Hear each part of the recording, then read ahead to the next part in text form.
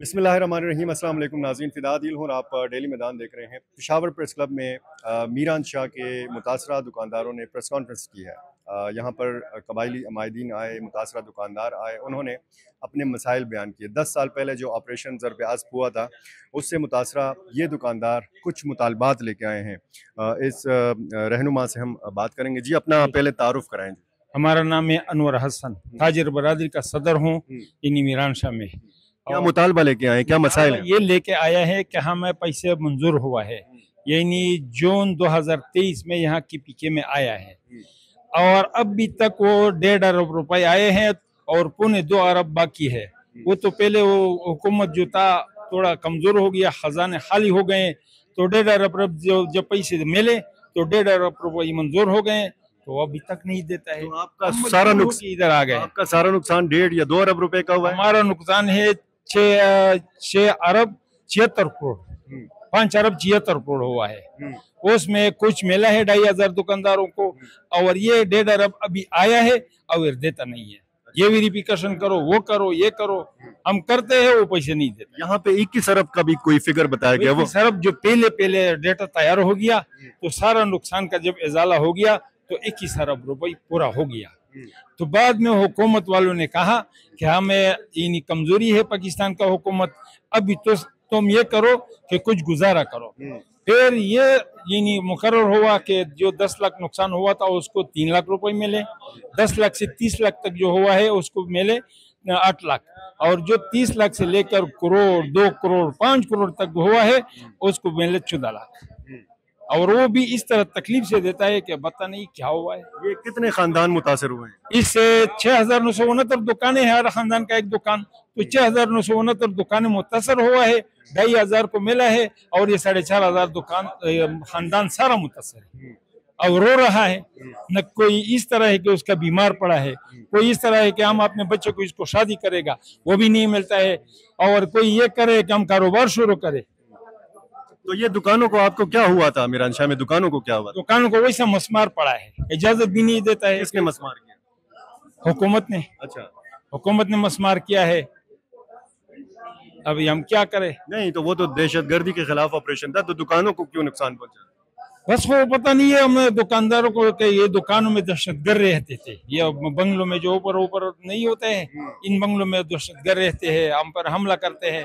تو اس کو سارا مسمار کر دیا۔ اور وہ این پتھر وہ جو جتنا چیزیں ہیں گارڈر جو ہے اٹھیا آئرن ہے وہ سارا لے کے گیا ہے۔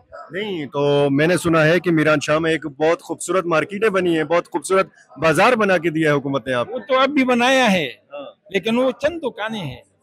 دو ہزار دکان بھی نہیں ہے ایک ہزار بھی نہیں ہے۔ اچھا۔ اس سے سارا کاروبار کیسے چلے گا؟ ہاں۔ تو وہ جو دو ہزار متاثرین تھے پرانی مارکیٹوں میں پرانی دکانوں میں ہاں۔ تو ان کو تو وہ دکان مل گئے۔ نہیں ملا ہے پتہ نہیں ہے جس نے پیسے دیا اس کو ملا جس نے پیسے نہیں دیا اس کو نہیں ملا ہے۔ کیونکہ وہ پیسے تو تاجر برادری کے ساتھ تو ہے نہیں حکومت دیتے نہیں ہے۔ اور جس کے نے دبئی سے لایا ہے انہوں نے دکان لیا پانچ لاکھ روپے کا پھر اس میں کاروبار شروع کیا۔ وہ جو متاثرہ دکاندار ہیں آپ کی طرح وہ آج کل کیا کار- کاروبار کر بس کوئی مزدوری کرتا ہے جو تکڑے تھے وہ دبئی چلے گئے ہیں۔ کوئی بس کیا کرتا ہے؟ اس طرح پھرتے ہیں۔ ہمارا خود اتنا کاروبار تھا کہ چین سے ہانگ کانگ سے میں نے خود مال لایا ہے۔ اچھا۔ ہاں چائنا سے لایا ہے ہانگ کانگ سے لایا ہے۔ یہاں وہ یعنی جو ہے قبل افغانستان ویسٹ بارڈر جو ہے چھمن والا۔ وہ سے ہم نے چار کنٹینر یہاں جم کو لایا ہے۔ اور یہاں پہ رخ کیا ہے ان کو۔ یعنی تقریباً ایک کروڑ ستر لاکھ روپے کا مال یہاں لے کے آیا تھا۔ تو ایسا تو نہیں ہے کہ ہمارا دکان اس طرح ہے کہ بس ترس کھائے گا۔ کیا کیا ہوا ہے؟ کیونکہ بارہ دس سوٹ پڑے ہیں کچھ کان پڑے ہیں۔ ہم ویسے بیٹھے۔ ہیں تو ایسا نہیں ہے کہ آپ نے اپنا کاروبار بنو منتقل کر دیا ہو پشاور منتقل کر دیا ہو۔ تو پیسے نہیں ہے تو پیسے کیسے منتقل کرے؟ کاروبار تو آج کل پیسے سے ہوتا ہے۔ ہاں اس وقت تو ہمارا ادبار تھا۔ ویسا قرض بھی ملتا تھا اور وہ بھی دیتا تھا ہم بھی لیتا تھا ہم بھی دیتے تھے ادھر لیکن ابھی کچھ ملتے نہیں۔ یہ آپ نے جو پیسے بتائے ہیں یہ کس کے ذمہ ہیں؟ وفاقی حکومت کے ذمہ ہیں صوبائی حکومت کے ذمہ باقی ذمہ باقی حکومت کے ذمہ ہے پونے دو ارب اچھا۔ اور یہ کی پی کے حکومت کے ذمہ ہے ڈیڑھ ارب اچھا۔ ہاں یہاں سے آتے نہیں ہے۔ پی ڈی ایم اے والے نے اس پر پاؤں رکھا ہے۔ اب بھی ہم یہ درخواست کرتے ہیں کہ ہمارا وزیر اعلیٰ صاحب یہ یونین تک کوشش کرے کہ ہمیں یہ پہنچا دے میران شاہ کو۔ اور ہمیں اپنا معاوضہ مل یہ آپ کا مسئلہ جو ہے جی۔ ٹھیک ہے یہ جو مسائل ہیں آپ کے جی۔ اس سے علی امین خان گنڈا پور جو ہیں وزیر اعلیٰ خیبر پختونخوا ہاں۔ یہ آگاہ ہیں؟ ان کو پتہ ہے؟ ہم ہاں آگاہ ہوگا جی۔ کیونکہ چھوٹے بچے بھی اس پہ آگاہ ہیں۔ اچھا۔ ان کو بھی پتہ ہے حتیٰ کہ یہ وزیر اعظم کو شباز شریف کو بھی پتہ ہے اور یہ زرداری صاحب کو بھی پتہ ہے کیونکہ ہم چلے گئے تھے ادھر اسلام آباد میں۔ اور ان کو ان کے ساتھ ملا ہے ملاقات ہماری عسکری قیادت کو بھی پتہ ہے؟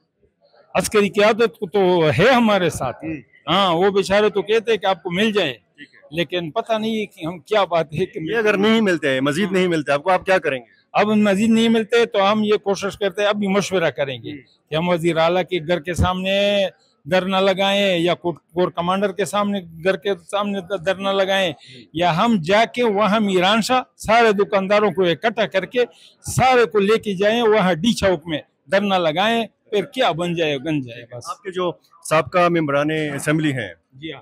شمالی وزیرستان ہاں، سے ہاں۔ وہ اور موجودہ جو ممبران اسمبلی ہیں وہ کیا کردار ادا کر رہے ہیں؟ وہ بیچارے یہ جو ڈیڑھ ارب روپئے ہے یہ تو ہمارا محسن دور صاحب نے وہاں سے منظور کیا۔ وہ ابھی تک وہ دیتے نہیں۔ اس وقت یعنی حکومت کے خزانے خالی تھے اس واسطے پورا پیسے نہیں ملا۔ ڈیڑھ ارب روپئے ملا اور ڈیڑھ ارب روپئے وہ پچھلے تیئیس دو ہزار تیئیس میں یعنی جون میں آئے تھے۔ بارہ جون دو ہزار تیئیس میں۔ پھر بیس جون کو اس پر کیبینٹ ہوا۔ کیبینٹ اس لیے ہوا کہ ہم نے ادھر روڈ بلاک کیا۔ یہ پیسے ہمیں کیوں نہیں دیتا ہے؟ وہ روڈ بلاک کرنے کے بعد یہاں کیبینٹ بیٹا اور یہ پیسہ کہ یہ تاجر برادری کو مل جائے۔ لیکن ابھی تک نہیں دیتا۔ یہ آپریشن ہوا کارروائیاں ہوئیں۔ جی۔ شمالی وزیرستان بالکل افغانستان کے ساتھ ٹچ ہے۔ اچھا۔ شمالی وزیرستان میں آج آپ کو لگتا ہے کہ امن ہے؟ امن کیا ہے؟ بہت تکلیفیں ہیں لوگوں کو۔ ٹارڈنگ، کلنگ ہوا ہے، ہو رہا ہے۔ کبھی وہ ادھر مارتا ہے، کبھی ادھر مارتا ہے۔ ہم پتہ نہیں کون مارتا ہے، کدھر سے آتا ہے یہ لوگ۔ پھر وہ لوگ جاتا ہے، کدھر جی چلا گیا۔ امن نہیں ہے، پورا امن نہیں ہے۔ ہاں، بالکل۔ لوگ بالکل پریشان ہیں۔ بہت شکریہ جی۔ جی یہ شمالی وزیرستان کے قبائلی عمائدین اور متاثرہ دکاندار ان کی باتیں آپ نے سنی اور یقیناً بہت سارے مسائل سے ہم آگاہ بھی ہیں۔ اور ان کا کہنا یہ ہے کہ اگر ان کو ان کا حق نہیں ملا ان کو معاوضہ نہیں ملا تو یہ دھرنا دینے پر مجبور ہو جائیں گے پشاور میں بھی اور اسلام آباد میں بھی۔ بہت شکریہ۔